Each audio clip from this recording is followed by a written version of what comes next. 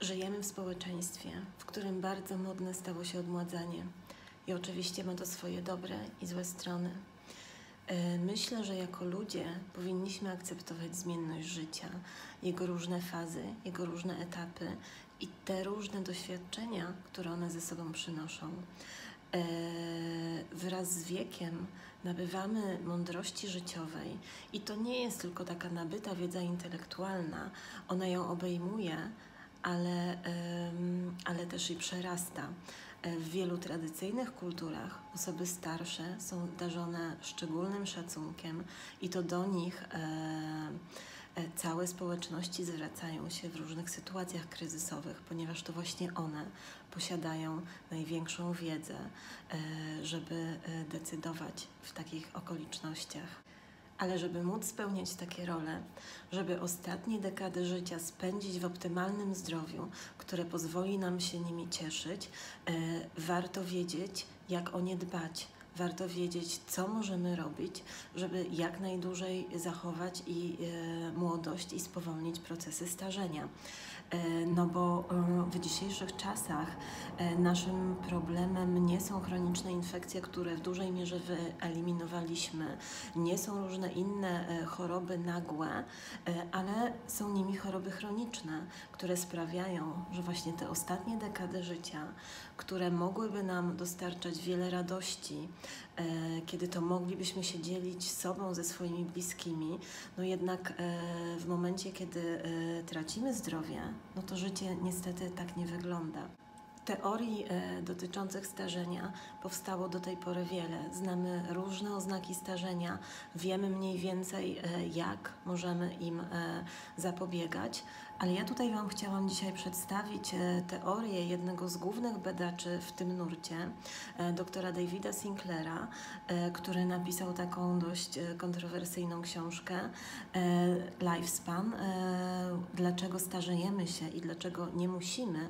I on wysuwa właśnie taką teorię, że starzenie niczym nie różni się od innych chorób, powinno być uznane za chorobę i powinno być na takich samych zasadach leczone e, i on e, ponad te wszystkie oznaki starzenia, które e, zostały podane na przestrzeni ostatnich dziesięcioleci, uznaje właściwie jeden czynnik zadecydujący w procesie starzenia i twierdzi, że mając klucz do, do tego czynnika, możemy w sposób znaczny spowolnić starzenie.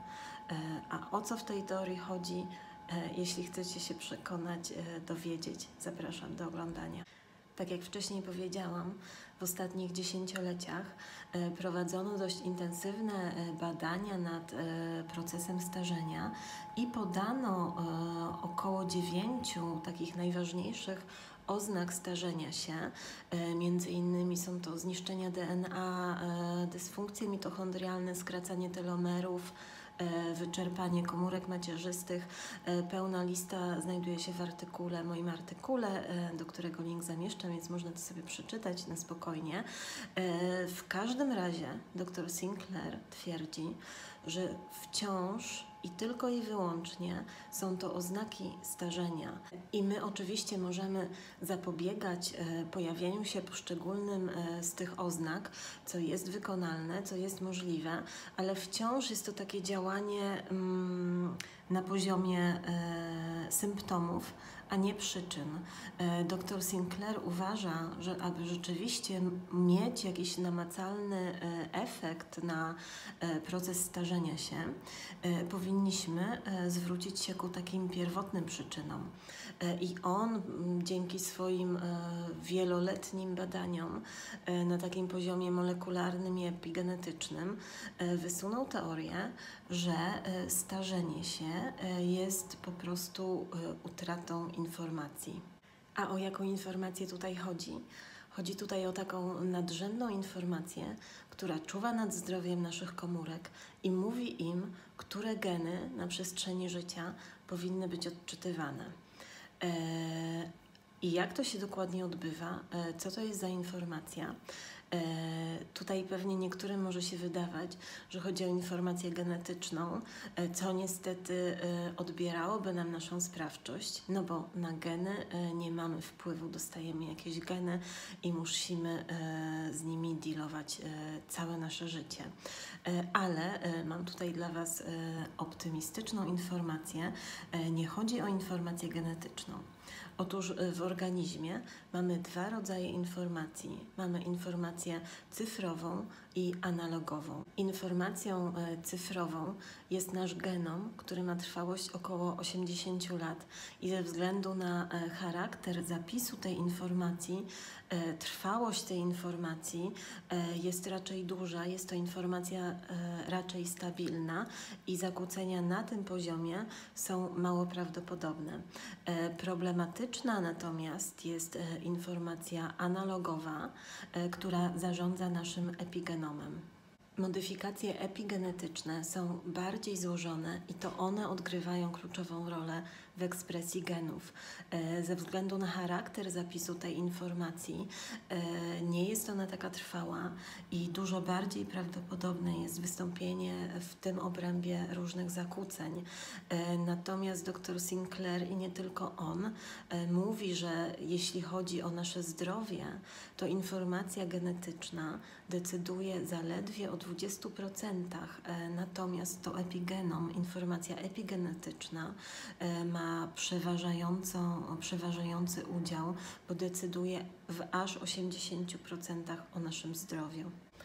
E, dla zilustrowania tej zależności genom-epigenom warto e, posłużyć się metaforą komputera, e, w której to składowe komputera byłyby jego genomem, natomiast oprogramowanie które zarządza komputerem, stanowiłoby e, epigenom. Epigenom mówi nowo powstałym komórkom, jakimi e, komórkami mają być. Dlatego neuron nie staje się po prostu w pewnym momencie komórką wątroby, natomiast komórka serca nie staje się komórką płuc. W momencie, kiedy ta informacja zostaje zakłócona i dochodzi do właśnie tego typu nieprawidłowości, wówczas całe tkanki i narządy e, tracą swoją e, tożsamość, a przy tym e, funkcjonalność i dochodzi do nieodwracalnych zmian na poziomie już całego organizmu. No dobrze, także teraz znamy już najnowszą teorię w dziedzinie starzenia się. I co my z tym możemy zrobić? Według mnie ta teoria jest dla nas bardzo optymistyczna, ponieważ przede wszystkim e, pozwala nam odzyskać naszą własną sprawczość. Jeśli naukowcy mówią nam, że nasze geny mają na, naprawdę niewielki procentowy udział w tym, e, jak się starzejemy, jak chorujemy, e, no to e, otwiera się przed nami ogromne pole wolności. To jest, tak jak mówiłam, około 80%, e, na które mamy ogromny ogromny wpływ e, i na które, e, które możemy kształtować e, poprzez swoje codzienne wybory. A jak to robić? Okazuje się, że istnieją pewne przebadane metody, które aktywują zarówno nasze geny, jak i szlaki długowieczności, i są one na szczęście w miarę proste do zastosowania. E, Dr Sinclair, zapytany o to, jaką jedną metodę optymalizacji zdrowia i przedłużania naszej młodości mógłby zalecić, gdyby miał wybrać tylko jedną, powiedział: e, jedzmy rzadziej. Okazuje się, że zarówno geny długowieczności, jak i szlaki długowieczności aktywowane są w warunkach deficytu energetycznego. Jeśli chodzi o geny długowieczności, takie najbardziej popularne to są chyba obecnie sirtuiny, e, no to właśnie one są aktywowane w momencie, kiedy nie jemy. E, aktywowane są też przez e, pewne substancje chemiczne, tak jak na przykład resveratrol, czy też inne polifenole występujące w roślinach. Zatem, aby te geny aktywować, powinniśmy albo przestrzegać diety, albo stosować te rośliny mm, bogate w sirtuiny wirtuine. I jeśli chodzi o szlaki długowieczności, głównymi są mTOR i AM, AMPK. E, te szlaki zarządzają e, zdrowiem naszego organizmu, są one bardzo ważne, aktywują naprawę DNA, e, aktywują procesy autofagii, zarządzają wieloma procesami w naszym organizmie. I co tutaj jest ciekawe? Ciekawe jest to, że również one aktywowane są zarówno w warunkach deficytu energetycznego, jak i poprzez stres biologiczny ekologiczne. Dzieje się tak, ponieważ e, wszelkie organizmy e, albo są nastawione na rozmnażanie, albo na przetrwanie. W momencie, kiedy jesteśmy e, nastawieni na rozmnażanie się, organizm odcina mechanizmy naprawy, regeneracji, wzmacniania na rzecz reprodukcji. W momencie, kiedy pozbawimy nasze organizmy odpowiedniej dawki kalorii, czy też wystawimy je na działanie krótkotrwałego stresu, e, organizm wyłącza mechanizmy reprodukcji e, na rzecz e, właśnie naprawy naszego organizmu. I dlatego, tak jak mówiłam, deficyt energetyczny, czy też krótkotrwałe działanie stresu, wszelkie metody hormetyczne, o których tutaj mówię na kanale, sprawiają, że aktywowane są te mechanizmy naprawy na takim głębokim poziomie komórkowym, które E, zwiększają wytrzymałość naszego organizmu, sprawiają, że wszystkie e, procesy zachodzą sprawniej, że nasz organizm jest silniejszy e, i po prostu dzięki temu dłużej zachowuje młodość. A jeśli chcecie się dowiedzieć więcej, w jaki sposób możecie aktywować e, Wasze geny długowieczności, szlaki długowieczności poprzez e, odpowiednią dietę, bo tak jak mówiłam, e, te procesy aktywują się w warunkach deficytu energetycznego, ale trudno być, pozostać na diecie o deficycie energetycznym przez jakiś dłuższy okres czasu. Warto stosować okresowe głodówki, takie dłuższe głodówki, jednodniowe, trzydniowe, czy też intermittent fasting, który przynosi podobne rezultaty, a wydaje mi się, że jest bardzo łatwy do zastosowania. Omawiam też wszystkie metody hormetyczne, które aktywują szlaki długowieczności, takie jak ekspozycja na zimno, e, kryokomora, sauna, e, ćwiczenia fizyczne.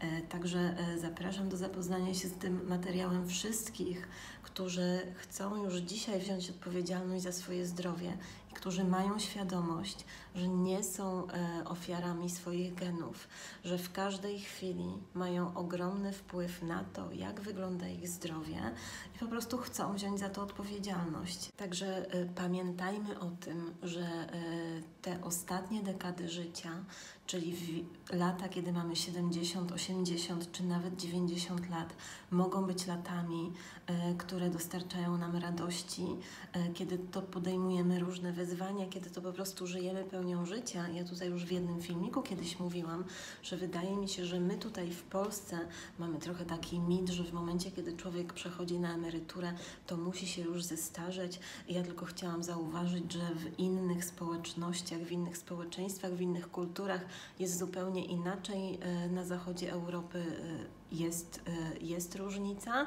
E, ja wiem, bo mam partnera, który jest Niemcem i jego 85-letni e, tata dwa lata temu poznał swoją obecną dziewczynę na tańcach, więc dla ludzi po 80 to nie jest czas na to, żeby rezygnować z jakichś aspektów życia, z których wciąż chcą czerpać. I też podobna moda jest na pewno w Stanach Zjednoczonych, gdzie ludzie po prostu na, czekają na emeryturę, żeby wreszcie zacząć żyć, bo mają na to czas. E, także pamiętajmy o tym, że wiek e, nie jest tutaj żadną wyrocznią, e, że są osoby, które w późniejszym wieku odzyskują pełnię zdrowia, bo powiedzmy wcześniej nie miały czasu dla siebie, żeby o siebie zadbać, były za bardzo zestresowane. I pamiętajmy, że nasz organizm jest wspaniałą, wspaniałym tworem, który w każdym momencie życia może się zregenerować, który właściwie może uleczyć się z każdej e, choroby, jeśli tylko zapewnimy mu odpowiednie warunki. E, a jednym e, z takich elementów tych odpowiednich warunków, poza taki, taką dbałością na poziomie fizycznym, jest niewątpliwie, e, są niewątpliwie nasze przekonania, jakie mamy na temat zdrowia, starzenia się młodości. Także może tutaj zastanówmy się, czy nie powinniśmy czegoś zmienić, bo, bo tak naprawdę nasz umysł jest kluczem do jakiejkolwiek głębszej zmiany, nawet na poziomie fizycznym, oczywiście. Dziękuję za uwagę. Do zobaczenia.